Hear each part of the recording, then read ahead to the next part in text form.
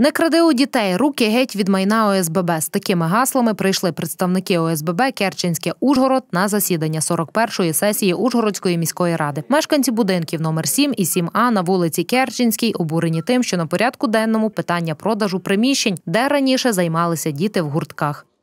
Ви не можете плювати на дітей, ви не можете не захищати Конституцію. Я вас прошу, це принципове для нас питання. Якщо ви за ужгородців, за місто, за дітей, будь ласка, принципово підтримати Депутати дослухалися і не підтримали проект цього рішення. За рішення прийнято, прийнято е, вбудований рішення, рішення не прийнято. Сьогодні було прийнято рішення, яке ми надали е, ОСББ, е, яке створено за адресою вулиця Керченська, для того, щоб могли вони облаштувати е, там ігровий майданчик, спортивний майданчик, саме в приміщенні, яке належить е, об'єднанню співвласників багатоквартирних будинків.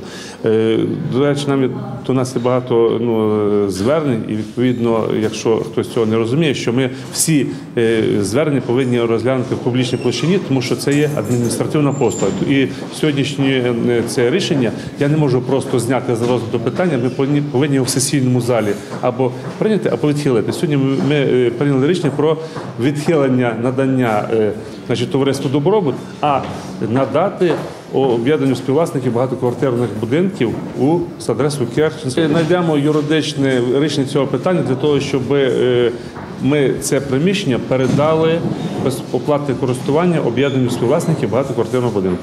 Коли реалізують проект облаштування футбольного поля на вулиці Мужайського, 16, який виграв конкурс громадських ініціатив ще у 2016 році, котре представники ОСББ Унгварський 16 звернулися з цим питанням до депутатів міської ради. Станом на сьогоднішній день Ужгородською міською владою нічого не зроблено для втілення даного проекту в життя, окрім одних обіцянок на протязі трьох років.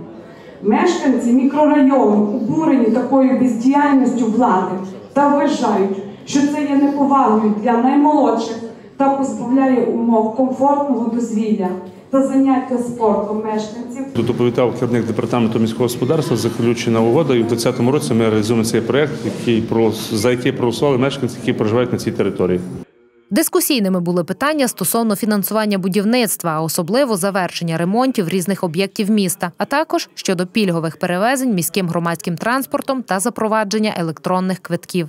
Очікуємо тільки конкретних рішень по деяким питанням, які стосуються запровадження електронного квитка, а саме які не стосуються оплати проїзду, а стосуються контролю за управлінням проїзду, а також за випуском картки Ужгородця або картки Дніпровика.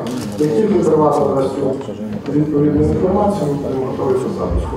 Е, Щоб ви розуміли, валідатори, які встановлені е, на комунальному транспорті, валідатори е, готові до запуску в режимі справляння проїзду чи пейпас, чи карточки. На даному етапі ми чекаємо тільки по пільговикам рішення. Загалом депутати розглянули майже 90 питань порядку денного, серед яких затвердження низки програм різних сфер життєдіяльності міста, майнових і земельних питань. Також на засіданні заслухали звіт керівника місцевої прокуратури про результат роботи за 9 місяців поточного року. Злочинності на 10 тисяч населення складає 194,1.